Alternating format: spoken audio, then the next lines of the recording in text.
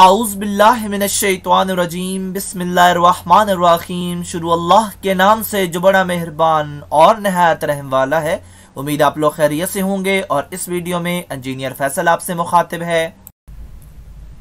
आज की वीडियो में हम वाल की कंस्ट्रक्शन के बारे बात करेंगे, क्योंकि वाल एक मैकेनिकल डिवाइस है और मुख्तलिफ़ मैकेनिकल पार्ट्स से मिलके ये डिवाइस बनी है। इस टॉपिक के बॉडी पार्ट्स और इनके फ़ंक्शंस को जाने बगैर वाल को समझना और समझाना दोनों मुश्किल हैं।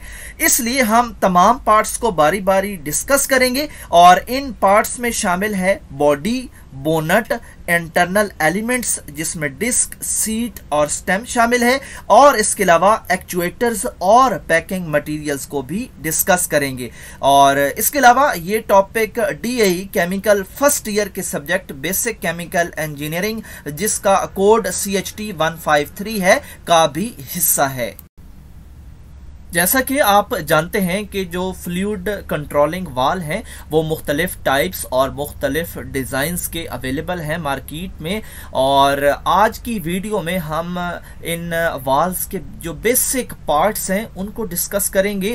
तो शेप और टाइप जो भी हो, इनके बेसिक पार्ट्स हमेशा एक जैसे ही होते हैं और इनके बेसिक पार्ट्स का आपको पता होना चाहिए। तो जो पहला पार्ट है, वो है बॉडी और बॉडी को शेल भी कहा जाता है और ये जो बॉडी है, ये कनेक्ट करती है वाल को पाइप्स के साथ इनलेट से भी और आउटलेट से भी। कैसे कनेक्ट करती है, उसके कुछ तरीके हैं। तो ये कनेक्शन जो है, वो थ्रेड्स के ज़रिए हो सकता है।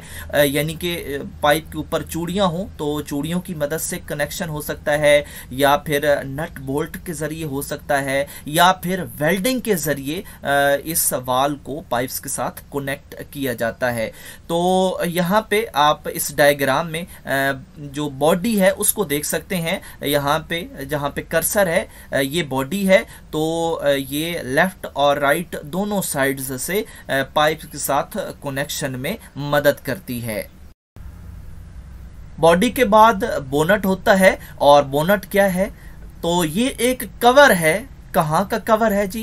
ये उस चीज़ का कवर है जहाँ पे जो वाल है ओपन हो के उसकी डिस्क या उसका गेट या उसका बाल आके ठहरता है, उस जगह के जो कवर होते हैं उसको हम बोनट कहते हैं। और आप इस डायग्राम में बोनट को देख भी सकते हैं। यहाँ पे जहाँ पे कर्सर है तो ये जो खाली जगह है यहाँ पे ये सीट या डिस्क आके ठहरेगी। और जब ये हम ओपन करेंगे इसका फ्लो और तब ये ऊपर जाके, इस केसिंग के अंदर जाके ठहरेगी, और इसी का जो कवर है, उसको हम बोनट कहते हैं।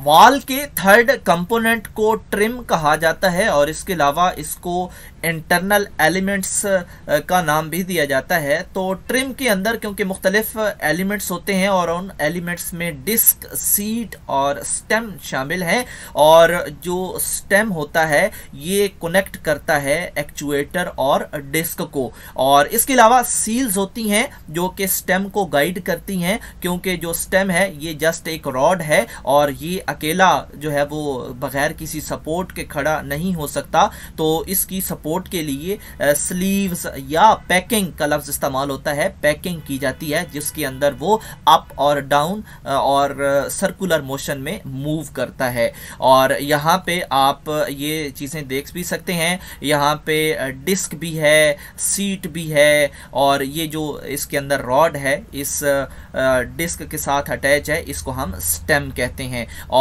यहाँ पे आप देख रहे हैं जहाँ पे कर्सर है पैकिंग का लफ्ज़ लिखा है तो इसी पैकिंग के अंदर ही ये अप एंड डाउन मूवमेंट करता है। इसके बाद एक्चुएटर आता है और एक्चुएटर के दो काम हैं। ये एक तो स्टेम को और इसके अलावा डिस्क असम्बली को ऑपरेट करवाता है और ये जो एक्चुएटर होता है इसको हम मैनुअली ऑपरेट कर सकते हैं हैंड व्हील के साथ ऑपरेट कर सकते हैं मैनुअल लीवर के ज़रिए ऑपरेट कर सकते हैं मोटर के ज़रिए भी कर सकते हैं सोलिनॉइड ऑपरेटर्स के ज़रिए भी कर सकते हैं न्यूमेटिक ऑपरेटर्स यानी जो जो प्रेशर एयर होती है, उसके ज़रिए भी कर सकते हैं और हाइड्रोलिक रैम के ज़रिए भी इसको ऑपरेट किया जा सकता है। तो जो एक्चुएटर हैं, आप यहाँ पे डायग्राम में देख सकते हैं। यहाँ पे टॉप पे जो कंपोनेंट है, ये एक्चुएटर है और ये डिस्क और इस स्टेम को मूव करवाता है और ऑफ़ कोर्स यहाँ पे अगर मूविंग होनी है तो हम इन तमाम जो ऊपर जराए बताए हैं, इनकी मदद से इसको मूव किया जा सकता है। फाइनल पार्ट है पैकिंग का और पैकिंग जो है वो लीकेज से बचाती है यानी जहाँ पे स्टेम इंटर होता है वहाँ से आ, वो जो अंदर फ्लूड है वो बाहर भी आ सकता है लीकेज भी हो सकती है तो उस मकसद के लिए वहाँ पे पैकिंग इस्तेमाल की जाती है और ये स्टेम और बोनट के दरमियान इसको इस्तेमाल किया जाता है और ये कोई फाइब्रस मटेरियल हो सकता है इनके अंदर फ्लेक्स और टेफलन वगैरह यूज़ किए जाते जाते हैं। और यहाँ पे आप देख भी सकते हैं कि पैकिंग इस्तेमाल हुई हुई है। और इसके अलावा हम पैकिंग का जो लफ्ज़ है, वो इसकी जो स्टेम है इसकी केसिंग के लिए भी यूज़ करते हैं। और पैकिंग जो है, वो यहाँ पे क्योंकि फाइबरस मटेरियल को कहा गया है तो स्लीव्स का लफ्ज़ इस्तेमाल होता है जो इस स्टेम को पकड़ के रखता है और मूवमेंट करवाता है। अपने YouTube चैनल का इंट्रोडक्शन करवाता चलूँ। मेरे चैनल का नाम है केमिकल इंजीनियरिंग एजटेक और इस चैनल के अंदर मोर देन 600 लेक्चर्स अवेलेबल हैं और इसके अलावा जिन सब्जेक्ट्स को हम डिस्कस कर चुके हैं, उनमें industrial chemical process industrial stoichiometry chemical engineering organic chemistry, mathematics और इसके अलावा मुख्तलिफ़ इंजीनियरिंग के टॉपिक्स अवेलेबल हैं। और इसके अलावा आप मेरे चैनल को सब्सक्राइब करेंगे बेल का आइकन प्रेस करेंगे तो मेरी हर लेटेस्ट वीडियो आपको मिलती रहेगी।